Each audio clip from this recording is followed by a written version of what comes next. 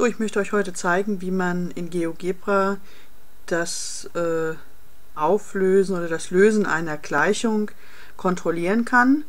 Und äh, dabei möchte ich nebenbei zeigen, warum es besser ist, wenn man äh, die Reihenfolge beim Auflösen eben so vornimmt, wie ich es euch beigebracht habe. Ähm, wir nehmen erstmal eine ganz einfache Gleichung und wir überlegen, wie wir sie lösen müssten.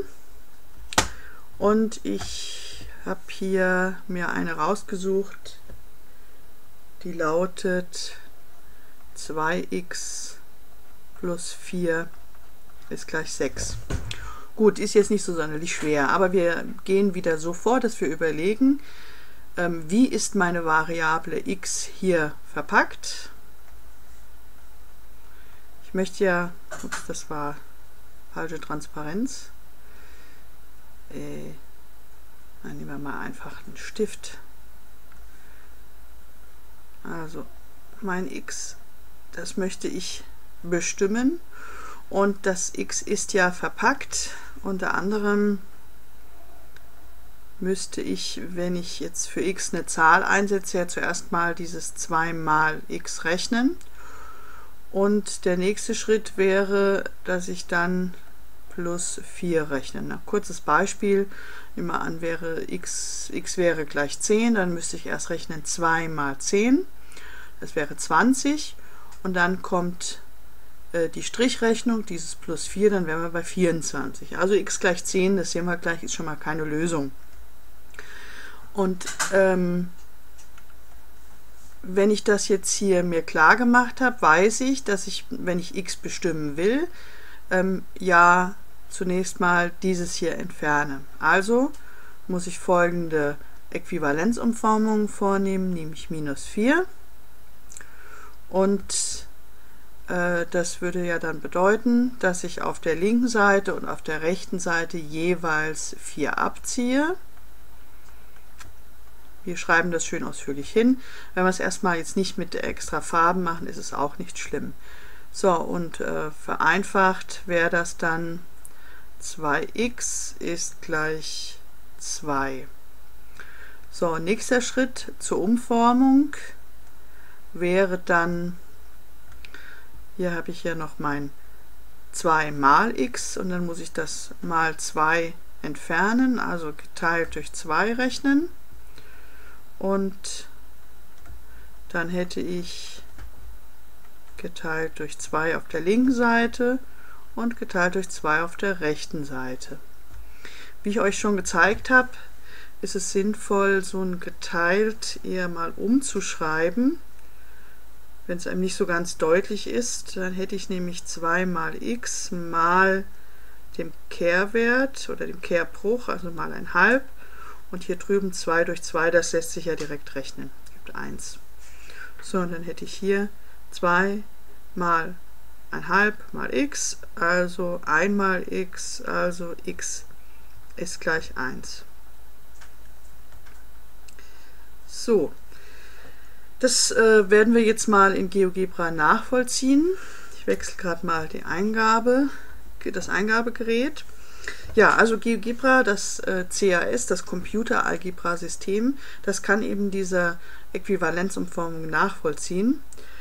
Ähm, ich habe oder werde in einem extra Film das auch nochmal erklären, wie, das, ähm, wie man das CAS anzeigt. Ich werde euch aber auch ein Arbeitsblatt vorbereiten. Wer GeoGebra zu Hause hat, der kann natürlich auch das nutzen müsste dann hier im Menü Ansicht das CAS anwählen und alle anderen deaktivieren, denn die braucht man hier nicht. So, und in die Eingabezeile tippe ich jetzt die Gleichung ein.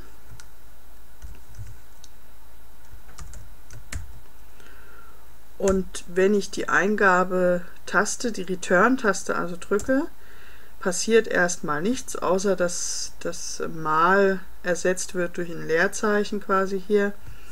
Ähm, ich habe dem GeoGebra CAS jetzt nichts gesagt, was es damit machen soll. Es übernimmt es einfach, es kontrolliert, ob es irgendein Fehler ist bei der Eingabe, aber das ist wohl richtig, denn es beschwert sich nicht.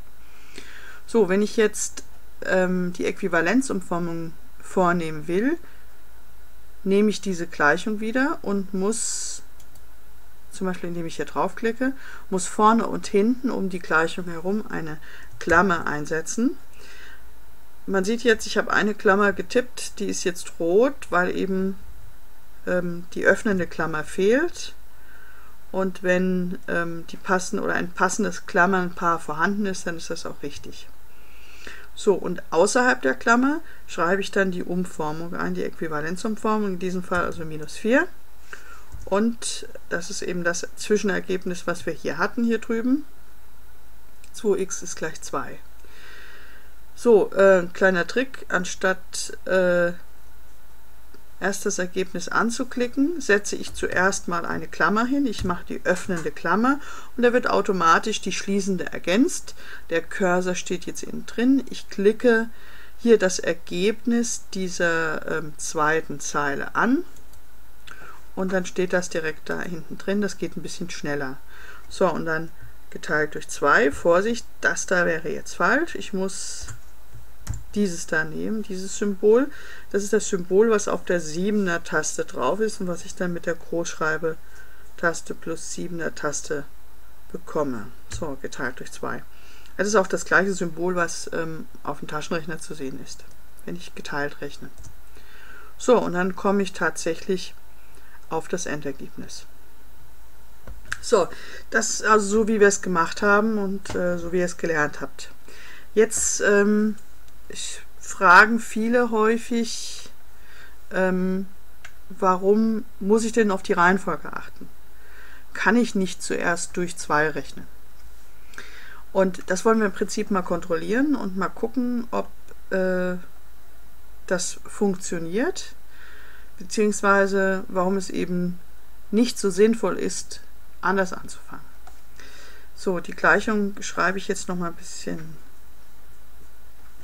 äh, nochmal hier hinten dran hin.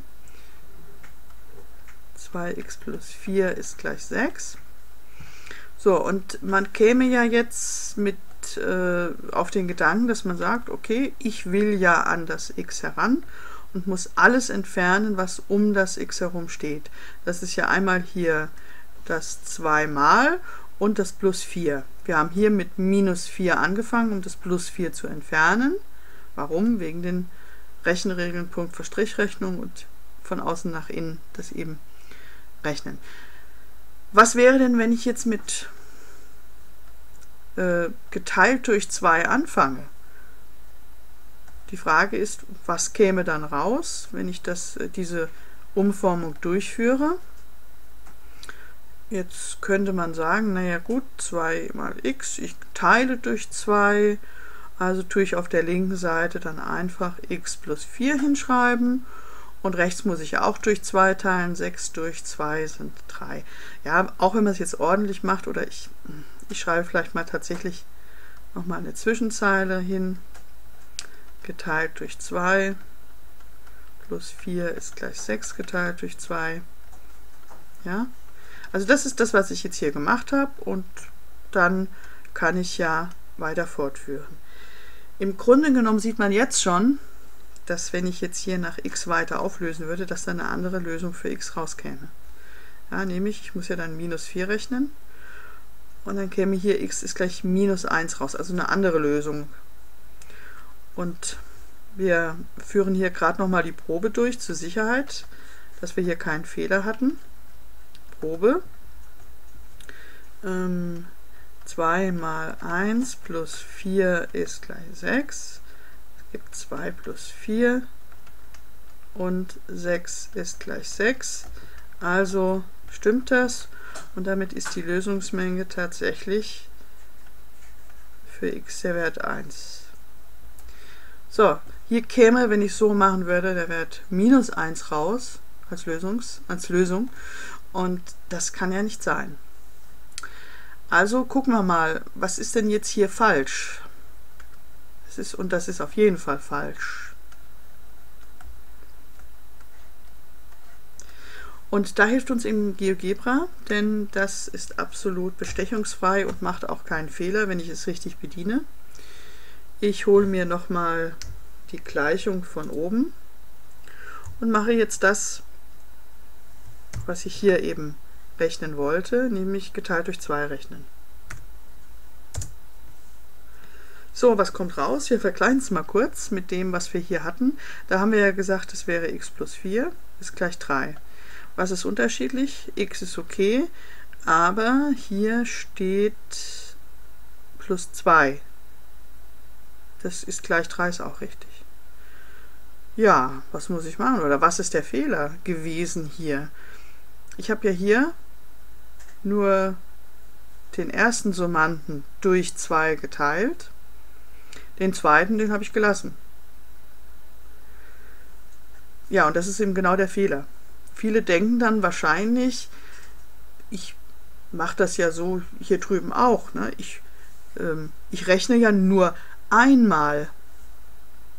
Ähm, ich rechne ja hier nur einmal minus 4 und hier auf der rechten Seite auch nur einmal minus 4. Aber wenn ich hier nur einmal durch 2 teile, wird es ja falsch. Tatsächlich muss ich, wenn ich das hier äh, durchführe, wenn ich also von hier, äh, hier oben diese Äquivalenz um, um, äh, umformen oder durchführen will, müsste ich folgendes machen. Moment, grad ein bisschen mehr Platz schaffen. Also x mal 2 durch 2 und auch 4 durch 2 dann hätte ich das richtige Ergebnis, nämlich x plus 2 ist gleich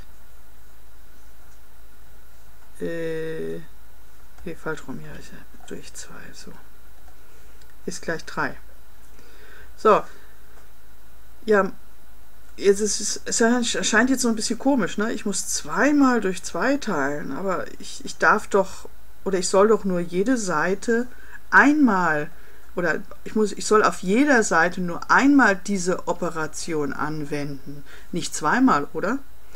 Tatsächlich ist äh, das jetzt vielleicht nicht die optimale Darstellung, sondern ich könnte ja auch eben das Ganze anders schreiben und sagen, ich habe mein 2x plus 4 und wende einmal das geteilt durch 4 an. Nur, wenn ich es so hinschreibe, hätte ich ja Punkt vor Strichrechnung. Das heißt, nur die vier. Äh, was erzähle ich hier? Moment. Nicht durch vier, sondern natürlich durch zwei. So rum. Ähm, wenn ich das so habe, müsste ich ja nur die 4 durch 2 rechnen, aber ich muss ja tatsächlich die gesamte linke Seite durch 2 rechnen. Und das kriege ich nur hin, wenn ich eben hier eine Klammer setze. Auch hier ist eben wichtig, die Rechenregeln zu kennen, Punkt vor Strichrechnung. So, warum klappt das hier drüben? Nur es einmal anzuwenden. Ähm, Im Prinzip ganz einfach. Ich habe nämlich hier drüben einen Summanden, noch einen Summanden und noch einen Summanden. Ich habe drei Summanden, die gleichwertig sind. Summand, Summand, Summand, dass dieser eine Summand halt noch ähm, ähm, ein Produkt ist. Das ist nicht so wichtig. Aber die kann ich beliebig umstellen. Die sind gleichwertig zueinander. Während hier diese geteilt durch 2 eben nicht gleichwertig mit den anderen Rechnungen hier ist. Und dadurch kommt es eben zum Problem. Äh, wenn ich jetzt hier, hier weiter rechne, jetzt an dieser Stelle, was müsste ich machen? Ich müsste durch äh, müsste minus 2 rechnen und dann hätte ich x plus 2 minus 2 und 3 minus 2 und x ist gleich 1. Das Ergebnis ist in beiden Fällen das gleiche. Ich kann also tatsächlich auch anfangen, hier durch 2 zu rechnen. Das Problem ist das Problem ist nur, dass ich hier sehr leicht Fehler machen kann. Ich muss eben hier bedenken, dass ich jede Summanden rechnen muss, durch zwei rechnen muss. Und äh, so ein Fehler kann nicht auftreten, wenn ich schon von vornherein hier die Rechenreihenfolge beachte und dann passiert mir das einfach nicht. Also, es geht durchaus andere Wege. Ich kann auch zuerst durch 2 teilen, aber dann muss ich schlau genug sein, dass ich eben hier beachte, dass ich auch tatsächlich die gesamte linke Seite durch 2 teile und nicht nur, wie ich es hier gemacht habe, den vorderen Teil. Den vorderen, also den ersten Summand. So, und ähm, da das eben hier drüben etwas sicherer ist, dieses linke Verfahren, würde ich auf jeden Fall raten, das linke Verfahren zu verwenden, so wie ich euch das beigebracht habe, und auf dieses hier drüben zu verzichten. Es ist einfach der sicherere Weg. So, weitere Übungen zu diesem Thema könnt ihr auch immer in GeoGebra durchführen. Ihr könnt äh, jede Gleichung und jede Umformung hier betrachten. Ein kleiner Tipp übrigens noch, wenn ihr nicht so sicher seid, wie es funktioniert, könnt ihr euch eine Gleichung auch von GeoGebra lösen lassen. Und zwar gibt es hier auch dieses da, eine Lösung einer Gleichung zu bestimmen. Ich habe also hier die Gleichung hinkopiert in die Eingabezeile und dann den Lösebefehl, das Lösewerkzeug verwendet. Und dann kommt hier in Klammern, in geschweiften Klammern x gleich 1. Wir schreiben es ein bisschen anders, hier drüben. Ähm, es liegt aber daran, dass GeoGebra eben auch mit, bei Gleichungen mit mehreren Variablen damit umgehen kann. Und deshalb wird das hier nochmal konkret hingeschrieben.